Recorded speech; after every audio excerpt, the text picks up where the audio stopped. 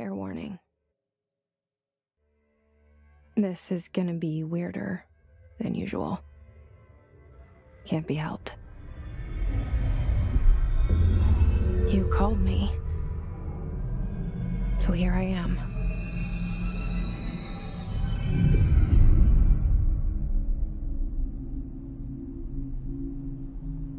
I know I shut you out sometimes. I'm always glad to hear from you. It's just that I get my hopes up. So many times it's led to nothing.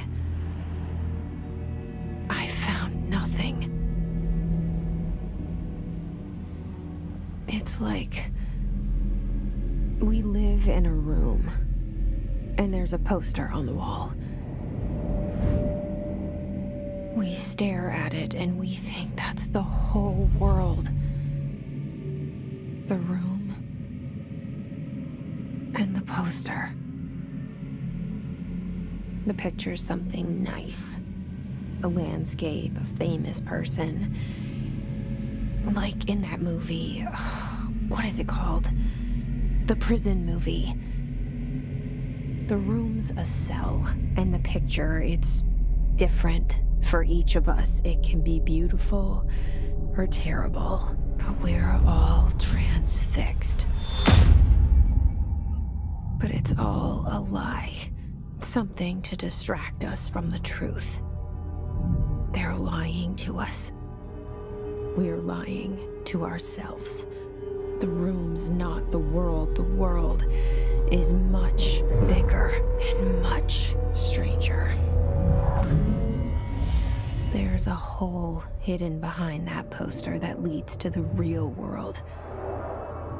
We all feel safe in that room. But sometimes, sometimes something crawls out from behind the poster. And the ones that see it happen freak out and try to forget what they saw. I'm here. Why did you bring me here?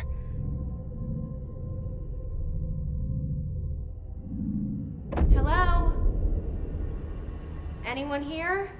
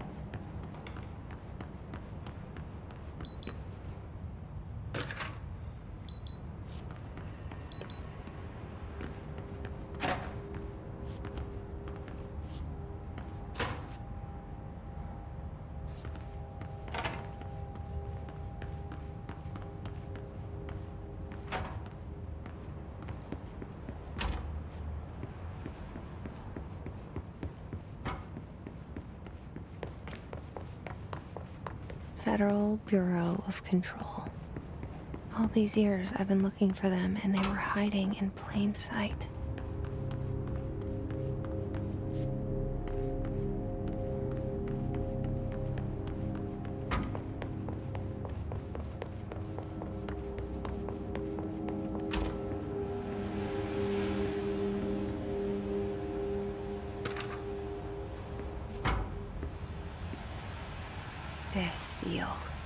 I saw it a long time ago. I keep seeing it in my dreams.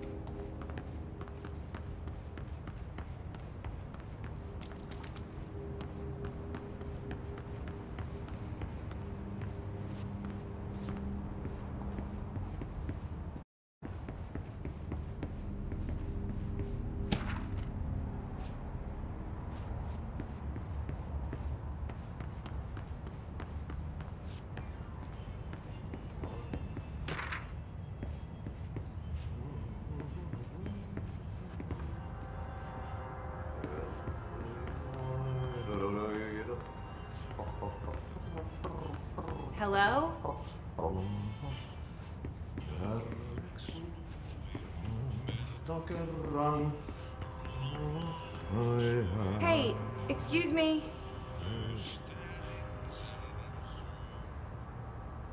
There you are. You are here about the job. Janitor's assistant. You need to go to the interview. Go that way to the elevator. Thanks. Elevator that way. Got it. Very good. I'm Ahti, the janitor, by the way. You'll work for me. You can say I sent you. If they don't hire you, then uh, you are it. There be work for the axe. Take them behind the sauna, jumalauta. I've done enough night shift loner jobs to know it makes us come off weird. Ahti the janitor is a friendly face in my book. Better than somebody with no face at all. Think about it. No face.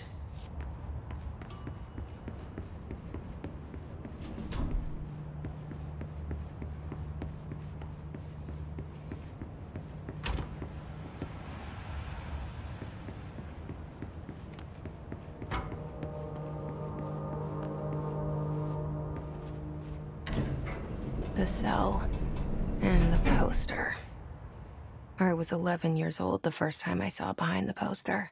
They told me I imagined it. I've been trying to pull it down ever since. Will you help?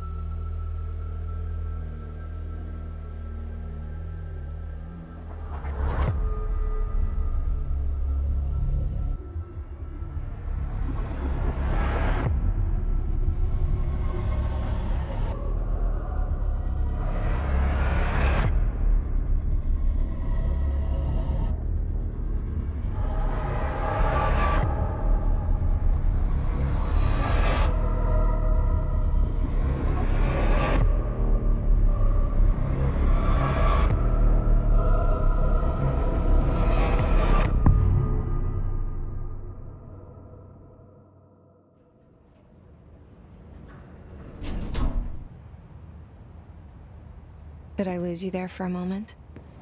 You know what's on my mind. My baby brother, Dylan. 17 years since the men of this bureau took him.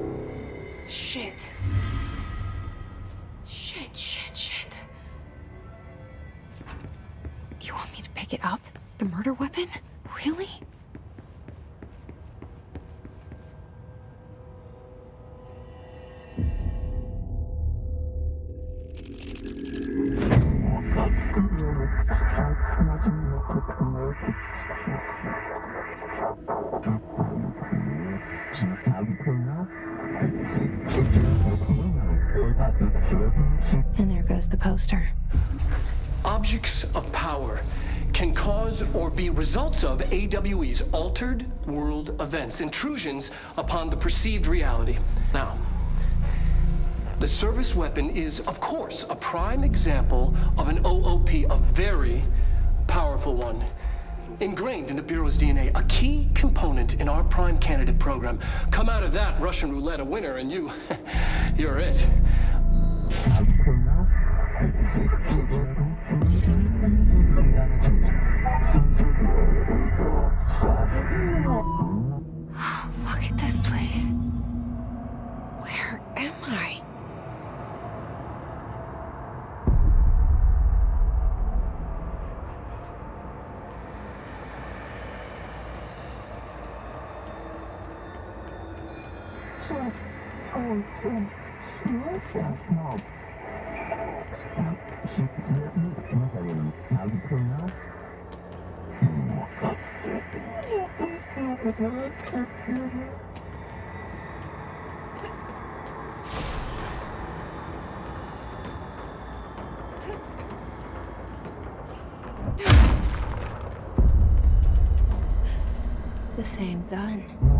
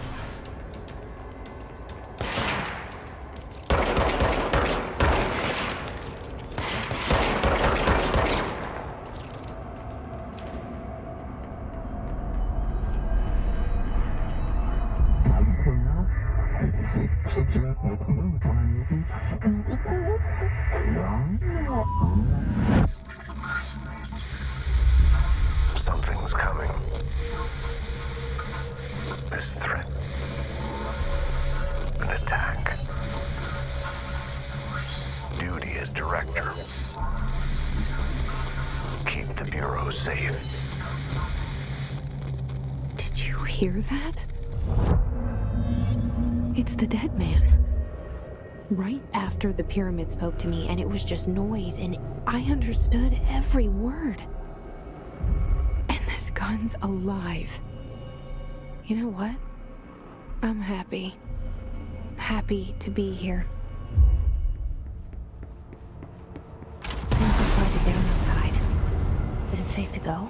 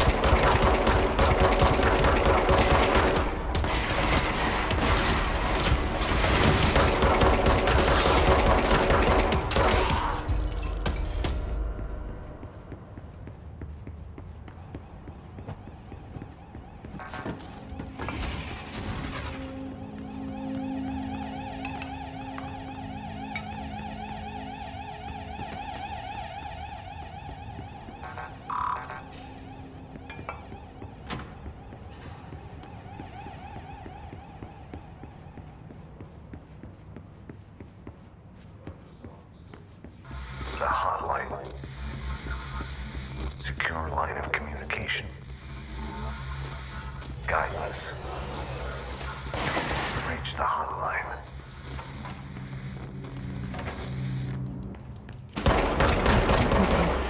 Says the dead man. Okay.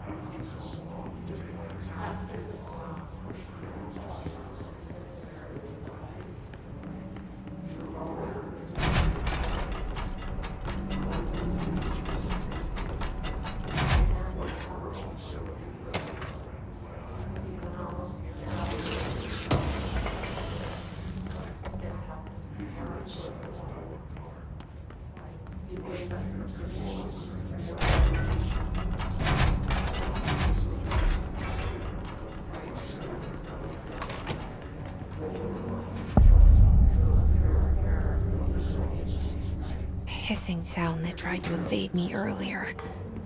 The hiss. Burrowing into everything in this place. Is the hiss your enemy? Alright, it's our enemy. That babble's contagious. It burrows in like an infuriating melody that makes you hum it over and over.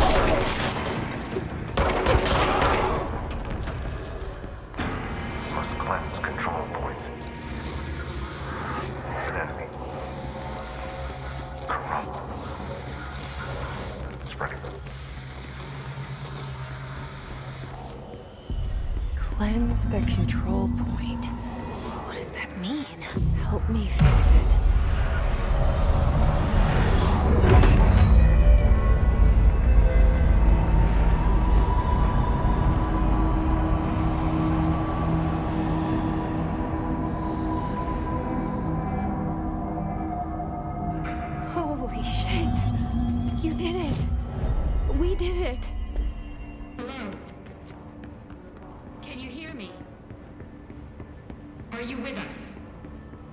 With the Bureau? Are you still sane? I can't tell you how happy I am to talk to somebody sane. The feeling's mutual. Yeah, I'm Pope, Emily Pope, Dr. Darling's assistant. My turn. Should I lie? Jesse Faden. I'm just visiting. I should have lied. Oh, shit. You're the new director. Hold on. We're coming out.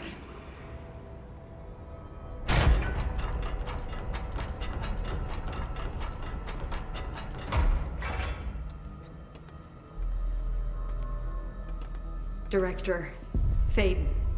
Call me Jesse. Okay, Jesse. I'm Emily. Look, somehow this hostile force, this. Hiss? that works? Somehow the Hiss managed to infiltrate the building without any warning. And just like that, my name for it is official. The hiss. Like the sound of poison gas leaking in. We're in full lockdown. It seems to have spread everywhere and to everyone not protected by an HRA. And, extraordinarily, you. You are the director, and that makes you special by definition. Trench is no longer the director, obviously. Uh, I'm sorry, uh, a lot. Trench is dead. Shot. Ah, Bot. Alert looked like a suicide. the service weapon. Also, and this can sound crazy, but he keeps appearing to me in things. It's hard to make out, but he told me to cleanse the control point. Push the hiss out. The whole room shifted around. That? And you entered the building when it was already in the lockdown before you became the new director? How? I'm not ready to tell her about you yet. A janitor let me in. I love it. This is fucking unbelievable. It's. I can't even. Ugh, look, Jesse, I have a million questions, and you probably have a million more. Like, do you know my brother Dylan? Not yet. But there's something I need to ask you to do first. If you can cleanse a control point, then you can maybe cure those infected or possessed by the hiss. Because if that's possible, our options are very different. Emily Pope. I don't know her, but I like her already. She's the opposite of the faceless agency I've blamed for what happened to me for so long. But I can't trust her yet. Or rather, the Bureau she's a part of. Yes. I can try. I'm speaking for you, of course. We can try it together. Okay. You with me? We did it before. Push the hiss out.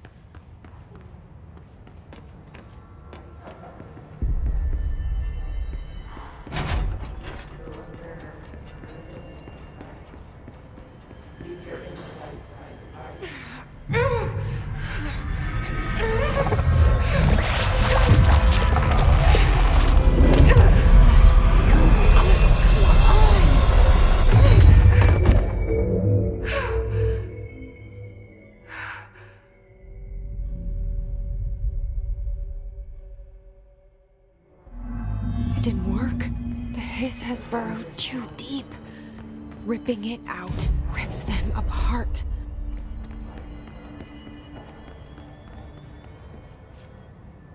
I can't cleanse them. I saw. It was worth a shot. Thank you, Director. Jesse.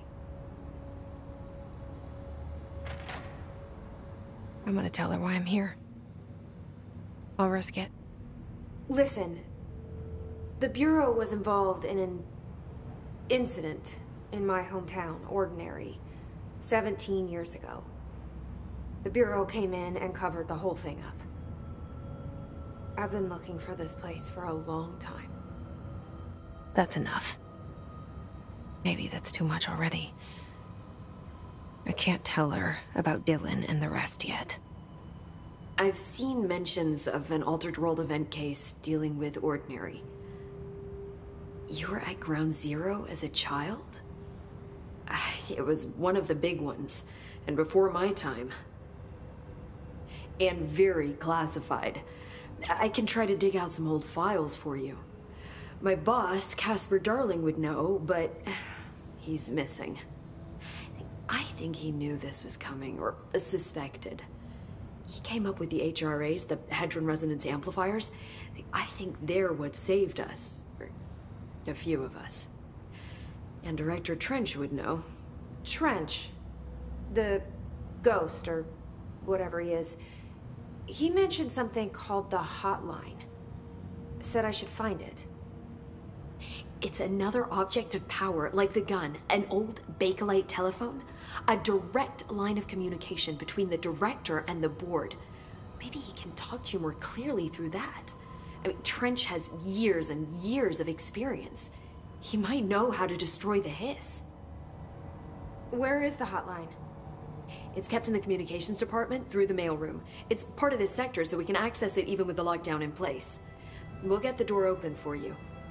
Okay, that's my next stop. That's Tomasi's department. He's head of communications. I don't think he had an HRA. He kind of made a point about not wearing one earlier. Keep an eye out. They call me the director. But that's not me. I'm not a director type. I'm not a leader. Why am I here? I think you already know. Yes, I came for my brother, but there are other reasons too. I said I was looking for answers, but I might never understand them. I'm not looking for proof. This is already it. More than enough. No matter what they told me all those years, I know it's real now. I didn't imagine this. I want to be a part of this world. What scares me shitless is that I finally found it. Only to see the hiss destroy it all.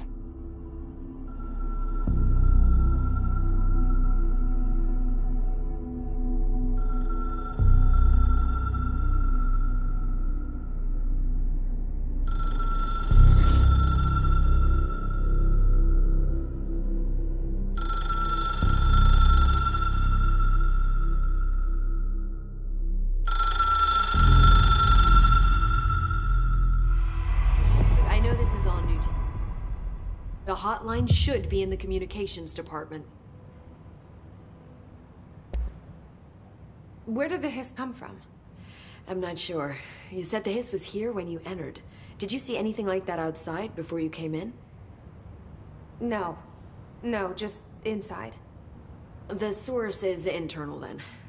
See, the oldest house is a sprawling complex with openings to other places as well. I don't even know where to start looking. But in the context, it's good news. The lockdown holds. The hiss escaping the building would be the end. Pretty shitty world out there if you ask me, but I wouldn't want the hiss to destroy it. With you on that, Emily.